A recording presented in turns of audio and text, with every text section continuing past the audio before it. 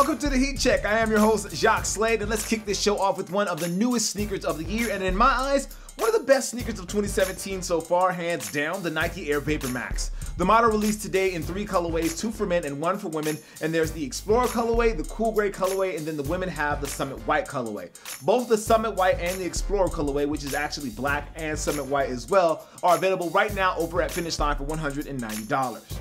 Also releasing in threes is the newest basketball shoe from Jordan brand, the Jordan Superfly. Like the Hyperdunk, which I'll talk to you guys about a little bit later, the Superfly has Nike's new React cushioning, and the company seems to be pushing that really hard.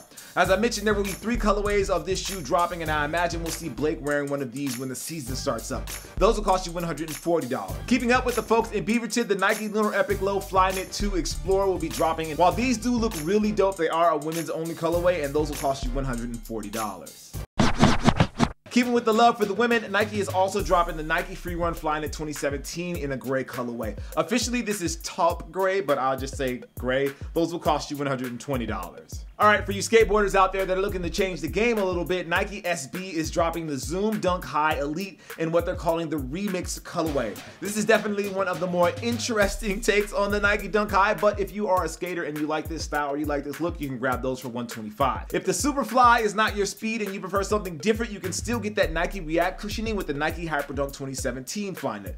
If you watched the NBA Finals last year, Draymond Green was wearing these while he was playing. Nike has three colorways of this shoe dropping and you can grab those for $160. Switching over to Converse, their collection with Tyler called Golf le Fleur uh, dropped today as well. Those are only 100 bucks and it looks like there's four or five different colorways of that suede upper and they look really solid. You can grab those as of right now. So I've been talking about all the drops from today, and there's one last one, and that's the Nike Hyperdunk 2017 Low in the Los Angeles colorway. Nike is actually dropping a city pack on these, and this LA colorway will cost you 130. Now jumping all the way to Saturday, we have a mostly basketball shoe lineup with the Nike Kyrie 3 in all black. All black seems to be a thing still, and you can grab those for 120. On the Paul George side of things, Nike has the PG1 in the black and white colorway. I've heard these being referred to as the chess colorway, and you can grab those right now over at Finish Line for 110.